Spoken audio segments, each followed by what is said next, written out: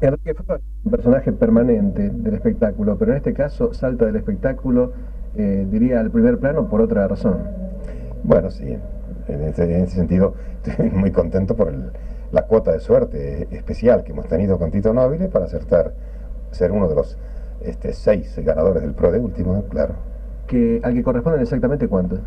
Por tarjeta, eh, nominalmente son 45 mil y pico de millones pero luego con todos los descuentos lógicos y demás, y no lógicos, tenemos un promedio de unos 170 millones eh, cada uno, o sea, 17 mil millones viejos cada uno. 17 mil millones de pesos. Sí, cada uno. Y en este momento hay un señor que pasa y dice 5 minutos, ¿vas a seguir haciendo la temporada con Julio Marcio? Sí, claro, porque gracias a este trabajo yo pude jugar, pagar el precio de la tarjeta del PRODE, si no, no habría podido jugarla.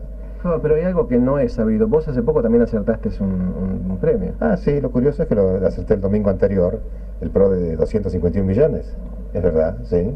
Pero me alegraron muy, mucho las dos, ¿eh? acertadas, la del PRO de chiquito, con mil participantes, y esta con cinco más.